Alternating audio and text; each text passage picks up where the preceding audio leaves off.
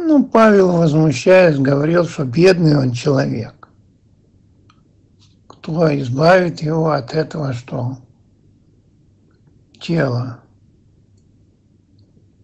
А потом дальше говорит про осуждение, которое отсутствует в человеке, который живет по духу. И закон духа, то есть по закону духа. Такому нет осуждения. Если метнемся с одного места в другое, пост, который я избрал, я, говорит, 40 лет, говорит, общаясь с вами, вы меня раздражали в пустыне. Уходя в другое место Писания, говорит, что крестившиеся умерли и они, что живут опять же в Духе Христа, таких поклонников ищет Господь. И крестившиеся, отвергнувшие себя, взявшие крест и следующие зачем? За своим Господином или за Иисусом Христом. И он говорит, овцы мои знают голос мой, чужого не знают но бегут. В этом есть гармония, когда ты уже не ты, а в тебе живет Христос, и ты водимый Его Духом. А тут что не услышишь, ой, не говори так, ой, ты меня соблазняешь, ой, там еще что-нибудь такое. Это реально больные люди, которых надо в дурку отправлять из собрания или вместе с пастырем. И как один, по-моему, или Эрлштеген, или Бонке говорил, видел откровение, что и секретари, и диакона, и пастыря, и целые-целые братства идут и падают в пропасть. Поэтому я исходя из э, реального сегодняшнего времени, вижу лицемерие, фальш, обижающиеся и обиженные, и обижающие. Это вся группа, группировка больных людей, непокаянных, нерожденных свыше. А как говорят, был грешник сухой, стал грешник мокрый. Чем ракетные генералы пороху не нюхали, возомнили себе великих полководцев. Ну, а как вот э, все это поменять, чтобы пришла эта, эта жизнь, человек столкнулся с жизнью настоящей? Или это уже для некоторых уже закрыто? Володь, Одно место Писания нам говорит, тем, которые читают. Шел Иисус, с ним шел ученик, который увидел там еще одного, который идет. Говорит, а что он идет? Он, да ты иди, тебе какое дело? Если ты слышишь голос, и тебя именно сопровождает он, и ты видишь доброго пастыря – то не в твоей как бы, компетенции, а что там и как. Ты иди. А с ними Господь разберется. Внешних судит Бог, а внутренних, если Он принял водное крещение, вот уберешь жезл, если видишь, что нарушает, и тебе дана власть такая – как духовному человеку, судить обо всем, то применяю Слово Божье или что? Развращенного, удаляющий среды своего общения. И все равно идешь за пастырем. Володь, мы э, много говорили неоднократно. Если Иисус, беседуя с Петром, сказал, что ты свяжешь или разрешишь. Это было сказано Петру. Теперь э, определение, те, которые описаны в Евангелии, и дела, которые делает Бог, Он никому это не передавал, чтобы кто-то этими действиями занимался. Открывает или не открывает. Что там дальше? Освещает или не освещает. Приводит к Иисусу или не приводит. Крестит Духом Святым или не крестит дает покаяние или не дает покаяние.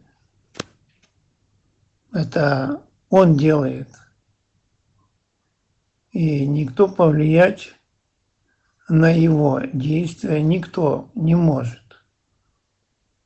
А если привилегию мы имеем, он призвал, привел и показал, и открыл глаза, то надо благодарить и дорожить этим. И пальцы веером не держать. То вот боязливые, неверные, и скверные и прочее, как там написано, царство не наследуют. И таковых много. Печально, печально. Почему не себе избрали такой путь? Кстати, ты туда звонил за этот бурю, которая была. Я там проезжал сегодня. Ну, тоже так далековато. Ну, как от нас, от Буэрки. То там деревьев много было повалено. Уже попилили их. Трассу расчистили. Ну, ну так, буря такая, ничего себе была. Такая мощная прошла. Ну, видишь, мимо.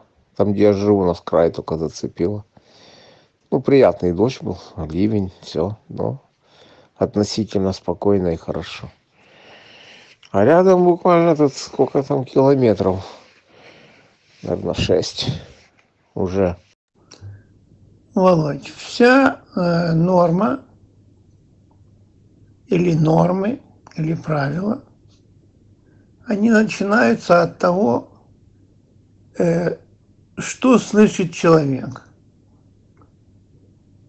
или обольстительские духи его атакуют. Или он э, стал, стал, как Ян говорил, сотворил достойный... Слетел, сотворил достойный плод покаяния, наверное. Очень интересная тема. Надо как-то ее... А то вот так все параллельно, но как-то параллельные миры, которые не пересекаются, к, к сожалению, они идут прямо, а другие по боку. Э, помнишь, э, тема есть такая, откровение, храм, и из-под порога храма. Ты слетаешь из-под порога храма, там река текла, да. Ну, а что там?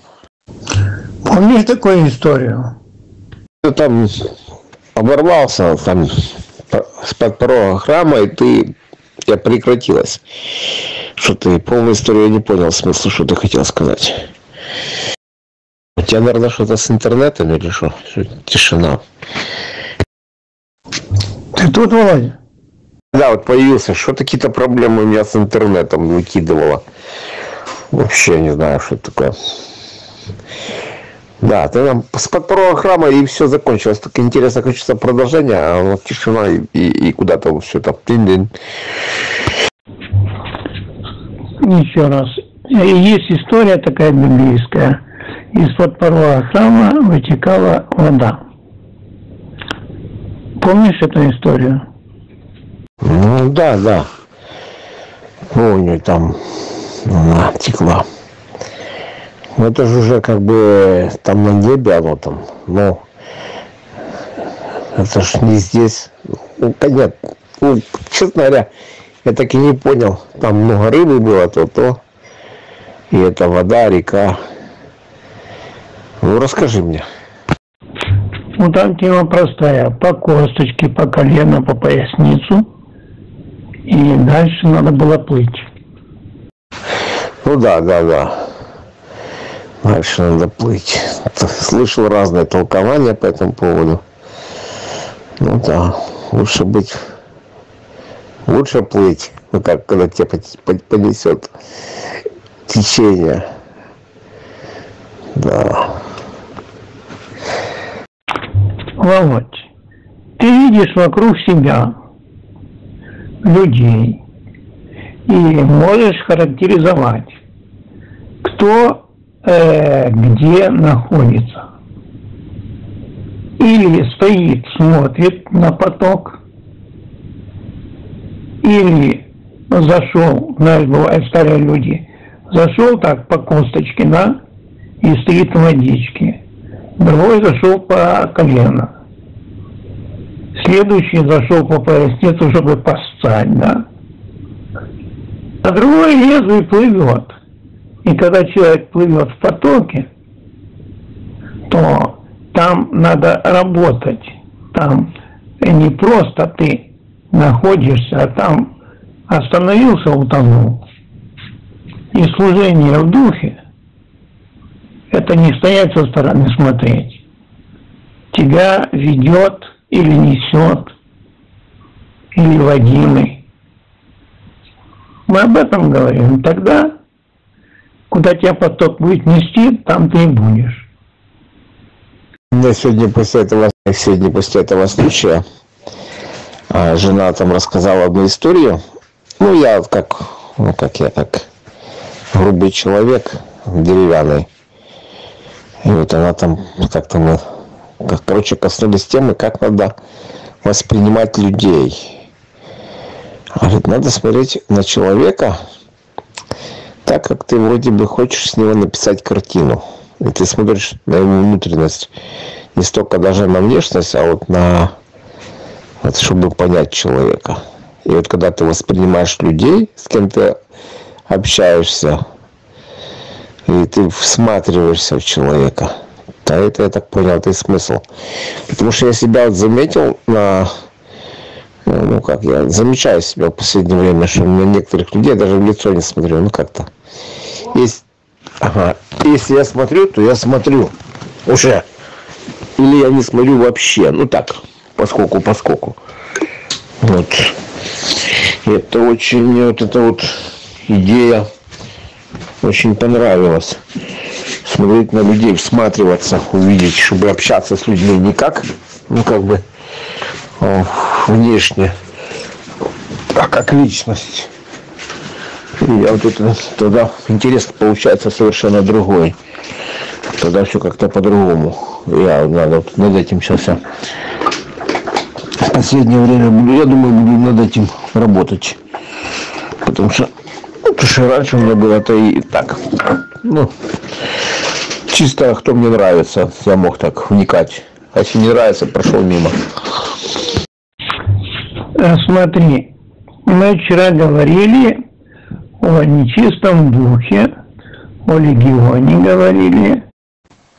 Ну что, кто что читал, кто где был, кто с Муму встречался, кто мумушником стал. Спасибо, благодарю. Ну что, сейчас